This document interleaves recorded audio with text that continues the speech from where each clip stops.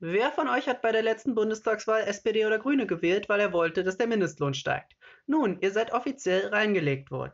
SPD und Grüne wickeln diese Mindestlohnerhöhung auf 12 Euro, nämlich jetzt durch die Hintertür ab, die Mindestlohnkommission. Das muss man sich vorstellen. Eine Kommission, die eingesetzt wurde, um die Verantwortung von den demokratisch gewählten Politikern abzuwälzen, hat nun beschlossen, dass nicht der Mindestlohn von 12 Euro für zukünftige Mindestlohnsteigerungen als Grundlage genommen werden soll, sondern der ursprüngliche Mindestlohn von 10,45 Euro.